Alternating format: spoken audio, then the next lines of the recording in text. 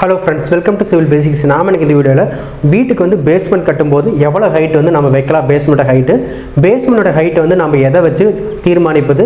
மேலும் பேஸ்மெண்ட் கட்டும்போது நம்ம என்னெல்லாம் வந்து ஃபாலோ பண்ணணும் அப்படிங்கிற இந்த வீடியோவில் பார்க்கலாம். ஸோ வீடியோ வந்து ஸ்கிப் பண்ணாமல் பாருங்கள் வாங்க வீடியோக்குள்ளே போகலாம்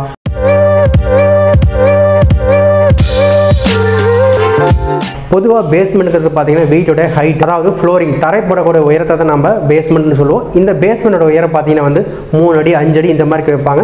இது எதை வச்சு நம்ம தீர்மானிப்பது அப்படின்னு பார்த்துடலாம் இந்த உயரத்தை தீர்மானிப்பது பார்த்தீங்கன்னா பக்கத்தில் இருக்கக்கூடிய டெவலப்டு ஏரியா ஃபார் எக்ஸாம்பிளுக்கு நம்ம ஒரு சைட் ஏரியா வாங்கியிருக்கோம். அந்த சைட் ஏரியாவுக்கு பக்கத்துலேயே வந்து ஒரு ரோடு போகுது அப்படின்னா அந்த ரோட்டிலேருந்து நம்ம பேஸ்மெண்ட் ஹைட் வந்து முடிவு பண்ணிக்கலாம்.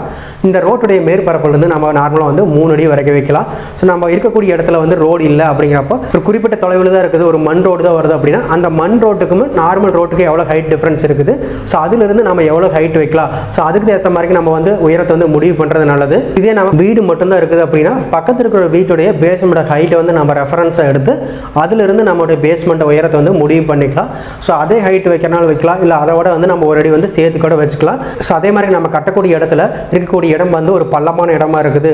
பக்கத்தில் பார்த்தீங்கன்னா வந்து மழைநீர் வந்து தேங்கக்கூடிய வாய்ப்புகள் இருக்குது. இந்த மாதிரி சூழ்நிலையில் நம்ம பேஸ்மெண்டோட உயரத்தை வந்து மூணு அடியை விட ஒரு நாலு அடி அஞ்சு அடி இந்த மாதிரி வச்சுக்கிறது நல்லது. இந்த மாதிரி அஞ்சு அடி வைக்கும்போது பார்த்தீங்கன்னா வந்து இதற்கான பேஸ்மெண்ட்டுக்கு கட்டக்கூடிய காஸ்ட்டுமே நம்மளுக்கு வந்து இன்க்ரீஸ் ஆகும். ஸோ இதையும் நம்ம கன்சிடர் பண்ணிட்டு ஸோ அதுக்கேற்ற மாதிரி நம்ம பேஸ்மெண்ட் ஹைட்டை வந்து நம்ம இன்க்ரீஸ் பண்ணுறது நல்லது.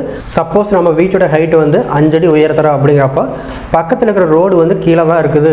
இந்த மாதிரி சூழ்நிலையை பார்த்தீங்கன்னா ரேம்ப் வந்து ப்ரொவைட் பண்ண முடியாது. அதாவது வண்டி அல்லது கார்களை ஏற்றுறதுக்கு பார்த்தீங்கன்னா வந்து ஒரு ஸ்லோப் மாதிரி போடுவோம். இந்த ஸ்லோப்பை வந்து நம்ம வந்து ரோட்டுக்கு பக்கத்தில் நம்ம வீட்டோட ஹைட் வந்து அஞ்சடி உயர்த்திட்டோம்னா வந்து கண்டிப்பாக வந்து போட முடியாது.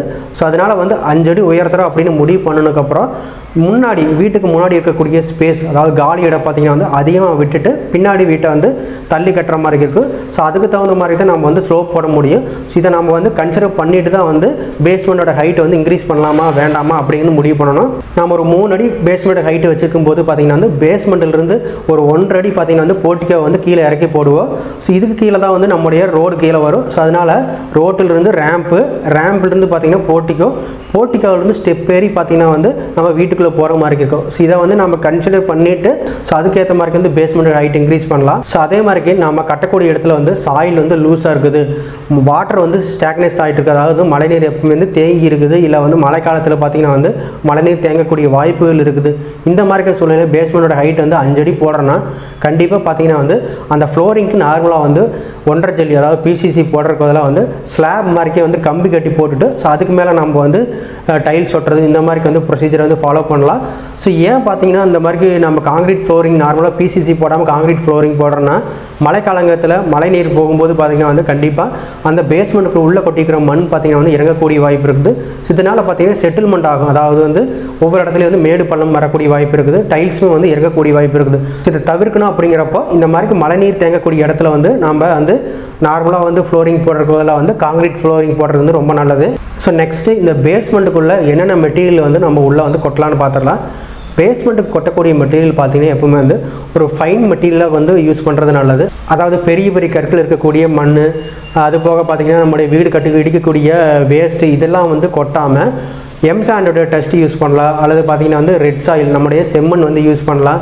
சில டைம் அந்த கிணற்று மண் கிடைக்குதுன்னா வந்து அதில் பெரிய பெரிய கற்கள் இல்லை அப்படிங்கிறப்போ நம்ம அதை கூட யூஸ் பண்ணலாம். ஸோ இது வரைக்கும் சொன்ன இன்ஃபர்மேஷன் எல்லாமே உங்களுக்கு பேஸ்மெண்ட் கட்டும்போது ரொம்ப யூஸ்ஃபுல்லாக இருக்குன்னு நினைக்கிறேன். இது போன்ற வீடியோக்கள் தொடர்ந்து பார்க்க நம்ம சேனலுடன் எப்போதும் இணைந்திருங்கள். தேங்க்யூ